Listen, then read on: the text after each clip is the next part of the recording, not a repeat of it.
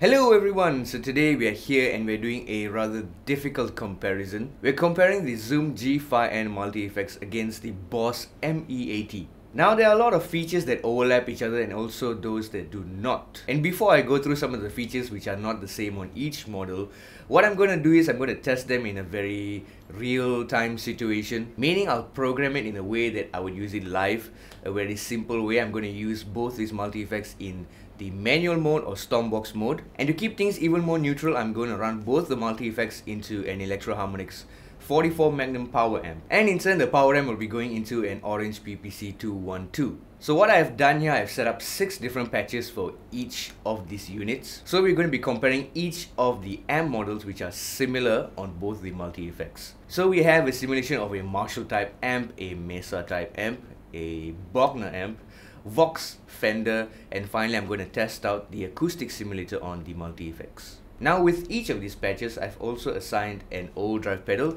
which is similar on both units, mainly the tube screamer, a fuzz pedal, and octave fuzz. Besides the OD, I have set a modulation as well, so you're going to be hearing some chorus, some flanges, some phaser, followed by delays, analog, tape, and finally some reverb in the chain. So there is only three reverbs on the Boss ME80, which is Spring, Hall, and Room. So I'm going to compare them head to head with the same reverbs that are on the Zoom G5N. So now let's check out some of the higher gain patches. Let's start with the Marshall type amp.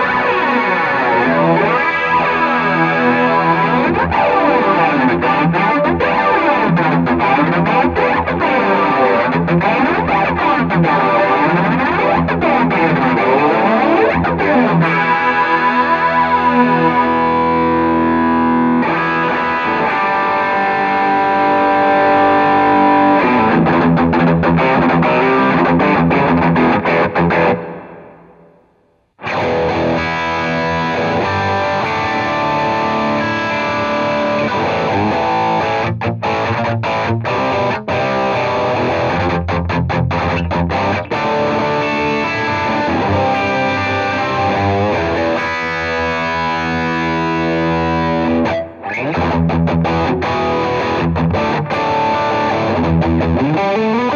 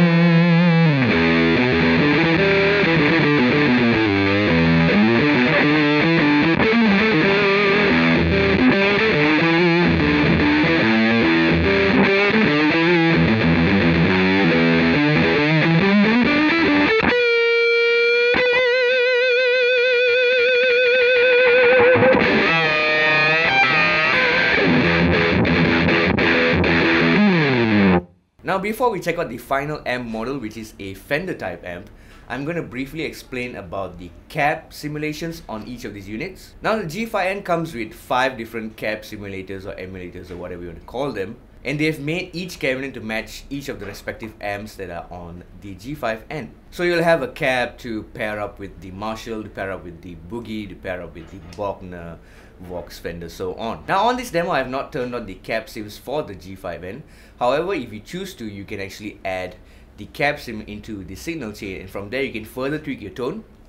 You can emulate a mic being placed in front of the cab and also to blend two different mics, a 57 and a 421. Furthermore, you can tweak the highs and lows of that cabinet. So if you're dialing in a tone and you're plugging into a particular cabinet or you're going direct to the front of house and you feel like you can't really fine tune your tone to what you want it to be, you can just add the cab sims and you're good to go. Now the Boss ME80 does have a cab sim, but there's no way that you can tweak the exact tone of the cab sim. Now in order to access the cab sim, all you have to do is take a dummy adapter, 3.5mm adapter and plug it into the headphone uh, output jack. And the moment you plug it in, it's going to alter the tone and emulate a particular cab. What cab in particular, I did not find out, but it does change the tone and for this Fender amp comparison on these two units, I had to use the cab sim because for some reason I could not get it to sound right into the setup that I have. So the moment I plugged in the adapter and turned on the cab sim, the tone was much more better.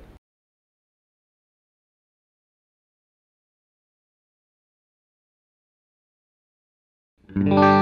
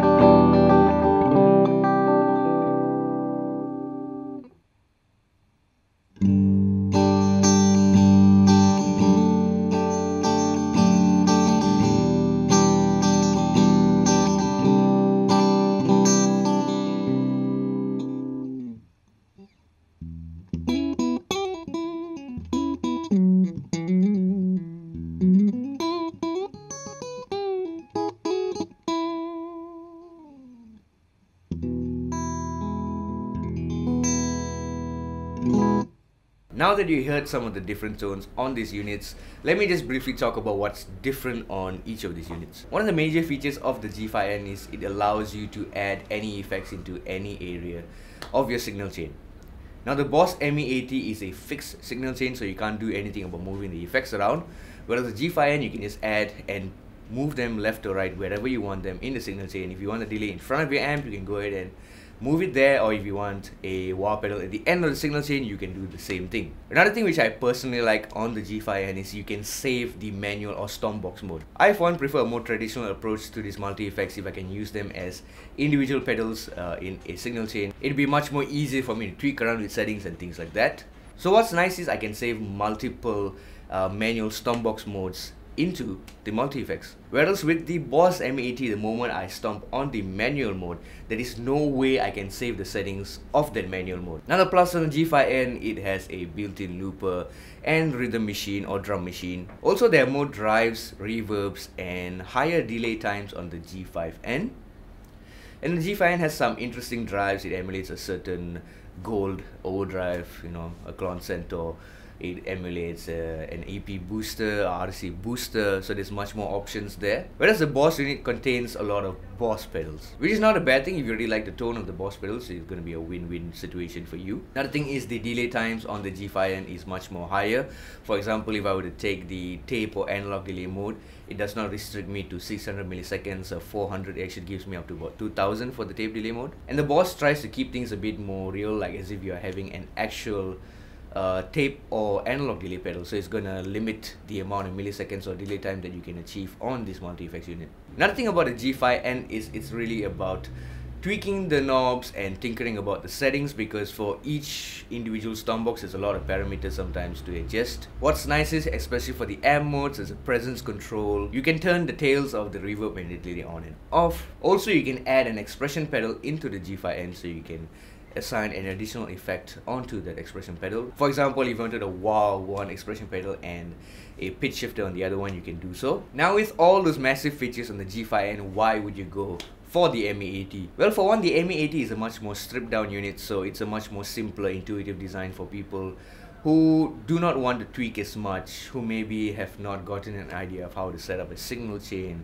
how to set up certain effects. So the way the ME80 is designed is, is really really easy to use. In fact, you don't even need to read a manual. So it's all written on the multi-effects itself. It's very easy to pick out the effects that you want to use immediately. Even the noise gate is accessible immediately. And it's also much more easier to assign an effect into the expression pedal whereas with the G5N you'd have to add an effect into the signal chain and then you got to assign it to the pedals so on and so forth.